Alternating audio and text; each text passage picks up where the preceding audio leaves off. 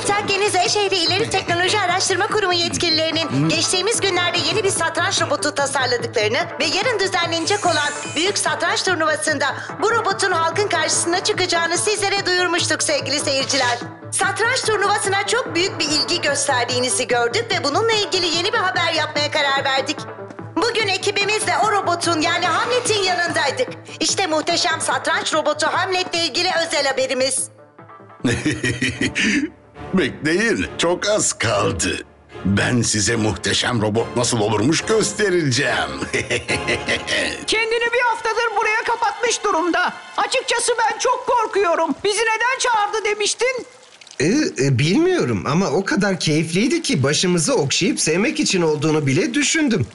Gerçi benim başımı okşayacağını sanmam. Elleri şey olur hep. Aa, demek geldiniz çocuklar.